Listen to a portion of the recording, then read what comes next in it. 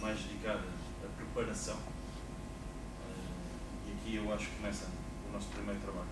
Eu acho que a equipa já esteve preparada